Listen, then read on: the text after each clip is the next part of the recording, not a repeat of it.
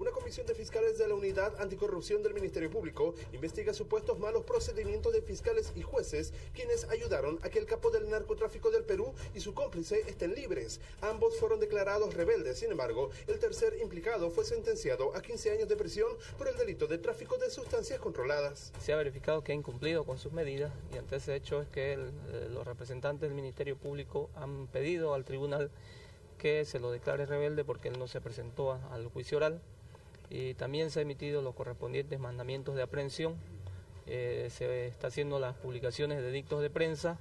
Se está trabajando en forma conjunta y coordinada con la policía para que puedan dar con el paradero de estas personas.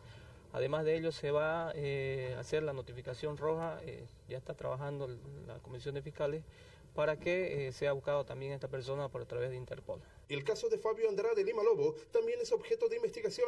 El Ministerio Público decidió alejar del proceso a los fiscales que conocieron el caso. Se ha dispuesto la apertura de un, proceso penal interno que ya está en, fase de investigación. Seguramente en el transcurso de estos días eh, se convocará o se citará a las personas que han sido, en todo caso, eh, que están siendo investigadas, ¿no? para eh, que en función a ellos se pueda determinar eh, su situación jurídica por la Comisión de Fiscales de eh, la Unidad de Anticorrupción. ¿Quiénes son estos fiscales, doctor? ¿Cuántos son?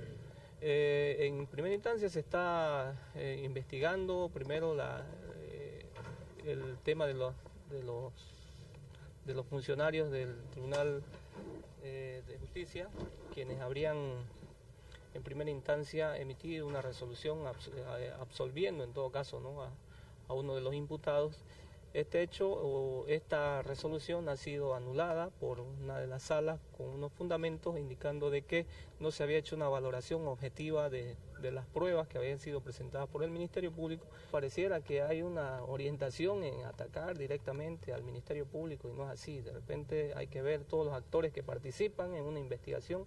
El Ministerio Público es un actor más, hay la policía, está también el órgano judicial y este, todos los actores que involucran una investigación, todos los actores que administran justicia tienen el deber eh, de hacerlo con responsabilidad, de hacerlo con objetividad y actuar con claridad este, frente a cada caso. El Ministerio Público también aseguró que se inició un proceso disciplinario en contra de estos fiscales.